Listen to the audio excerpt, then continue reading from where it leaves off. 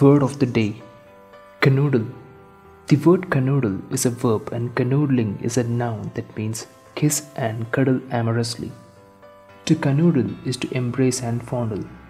Romantic couples canoodle. When people are getting a little physical romantically, they are canoodling. This somewhat silly sounding word applies to somewhat innocent physical affection.